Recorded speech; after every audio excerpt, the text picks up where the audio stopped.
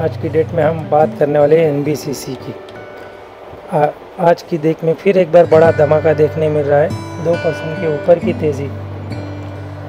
जैसे स्टॉक ने 40 का लेवल ब्रेकआउट किया लगातार बड़ी तेज़ी देखने मिली है। आपको बोला भी था कि 40 का एक इम्पोर्टेंट सपोर्ट है। इसी लेवल से बड़ा जंप आ सकता है। ऐसा डिस्कशन हमारा पहली वीडियो में हुआ था। अगर आपने वीडियो देखा है तो आपको पता होगा अगर आपने अभी ख़रीदारी की हुई है तो पोजीशन को बिना डरे आप होल्ड कर सकते हैं। जिस तरह इंफ्रा एक्सटेशन से रिलेटिव गवर्नमेंट कंपनीज़ के जो न्यूज़ आ रहे हैं, उसमें बड़ा धमाका देखने मिल सकता है। एनबीसीसी अभी यहाँ से रुकेगा नहीं 44 का लेवल भी ब्रेकआउट देगा, जो कि इसका इमीडिएट रजिस्टर है।